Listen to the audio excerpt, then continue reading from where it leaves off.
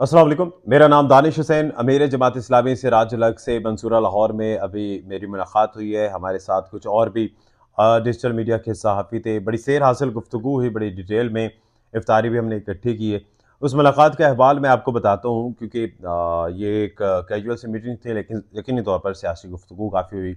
अभी रिसेंटली जमात इस्लामी का मंशूर भी सामने आया है। तो बहुत से इख्तलाफात आपके भी जहनों में होंगे, मेरे भी जहन में थे, कुछ इख्तलाफात जो हैं वो वहाँ पर सामने रखे, कुछ अभी आहिस्ता आहिस्ता अगली नशस्तों पर रखेंगे। तो जो अभी बातें हुई हैं, उस पर मैं जल्दी जल्दी नज़र दौड़ाता हूँ और जल्दी जल्दी आपको बताता हूँ। पहली बात तो यह है कि खान साहब के हवाले से बात हुई, खान साहब पर वैसे काफ़ी तनकीद भी की, ना सिर्फ़ दूसरी जमातों पर, बल्कि इमरान खान पर भी। उन्होंने कहा, जब जमान पर ऑपरेशन हुआ तो मैं वाहिद शख्स था जो वहाँ पर गया और इसके अलावा और कोई सियासतदान वहाँ पर नहीं गया। साथ ही उन्होंने ये भी कहा कि अगर इमरान खान होते तो क्या वो जाते? वो तो बल्कि उनके दौर में कोयटा में जब मामला हुए थे, वहाँ मैतें सड़क पर पड़ी थी तो इमरान खान नहीं गए थे। और ये कहा था कि ये लोग मुझे ब्लैकमेल कर रहे हैं।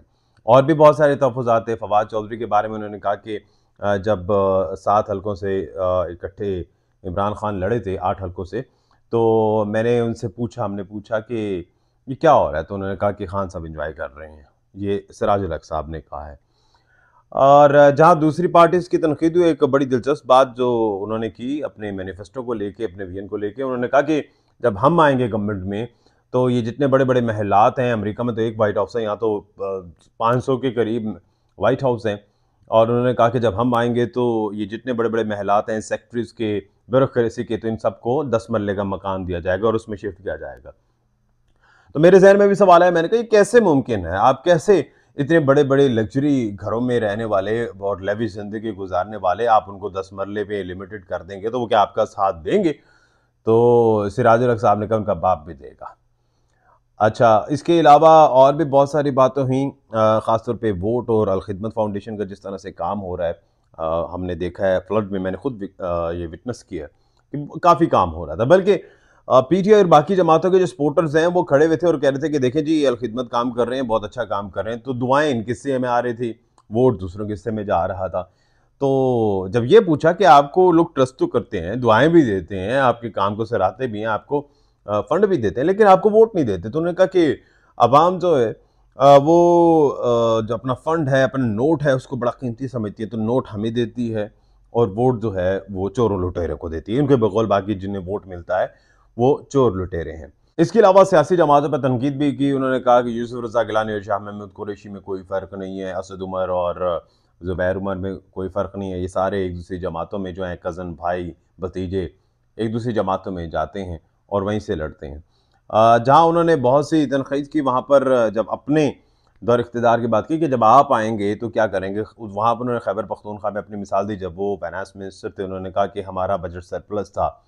और मैंने सब की तनख्वाह अट्ठारह हज़ार रखी थी। मेरी तनख्वाह भी अट्ठारह हज़ार थी।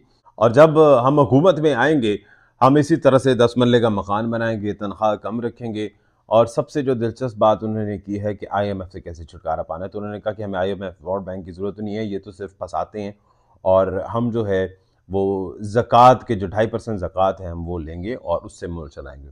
अब इम्प्लीमेंटेशन कैसे होगी? अलबत् उन्होंने ये कहा है कि पाकिस्तान से पैंतीस लाख लोग टैक्स देते हैं सात करोड़ के करीब लोग जो है वो ज़क़़त देते हैं तो हम उसी ज़क़़त को जो है वो इस्तेमाल करेंगे और आईएमएफ के पास जाने की ज़रूरत नहीं पड़ेगी। अब देखना यह कि ये चीज़ें ग्राउंड लेवल पर कितनी प्रैक्टिकल हैं, ये तो आने वाला वक्त बताएगा, लेकिन अभी तक उनका फ़िलहाल कोई मूड नहीं लग रहा कि वो किसी के साथ अलायंस होंगे। अलबत् इमरान खान के घर जाना, वो एक पॉजिटिव चीज़ उन्होंने अपनी बयान की, साथ से उन्होंने जो इलेक्शन कमीशन ने इंतबात को मुलतवी किया है तो उन्होंने कहा ये गलत फ़ैसला है। लेकिन अब इस गलत फ़ैसले में क्या वो पी टी आई का या दीगर जमातें जो हम ख्याल हैं, उनका साथ देते हैं या नहीं देते? या फिर एक तरफ़ पी डी एम एक तरफ़ पी टी आई और एक तरफ़ जमात इस्लामी। ये तो आने वाला वक्त बताएगा, लेकिन ये इस, आज की इस महफिल, आज की इस गुफ्तु का चीदा चीदा नुकात थे लेकिन एक सबसे पॉजिटिव चीज़ है मेरे ख्याल से मेरी दूसरी या तीसरी मुलाकात है, सिराजुल साहब से is very down to earth is very simple और बड़े अच्छे तरीके से मिलते हैं और हमेशा वो एक चीज़ का दावा करते हैं कि जमात इस्लामी वाहि जमात है जिसमें पार्टी के अंदर भी जमहूरियत है, कोई भी वज़ी अजम बन सकता है, कोई भी अहदा संभाल सकता है, कोई भी अमीर बन सकता है। यानी कि जमात इस्लामी एक ऐसी जमात है जो ऑर्गेनाइज है। दानिश हुसैन को इजाज़त दीजिए, अल्लाह ने के बाद